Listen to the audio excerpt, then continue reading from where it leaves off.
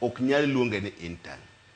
En ng'ama osetieko mo graduate mo miye certificate. Interns chalo jok ma pok otieko. To jopuonj ka dhi e gimoro iluongo ni teaching practice. Ka gisea e teaching practice to gibedo jopuonj makare. Omiyo kane oter jogi kaka interns, ichulo ng'ama otieko university elufu prariyo, prariyo gabich to jo primary elufu apar gabich. Omiyo jopuonjgi ne ok nyal konyore. To bende ka gidhi e, e, e, e primary kacha, junior secondary, JSS, iketo gi moko puonjo nyaka subjects aboro. To in e university ka to keti ni puonjo subjects ariyo kende.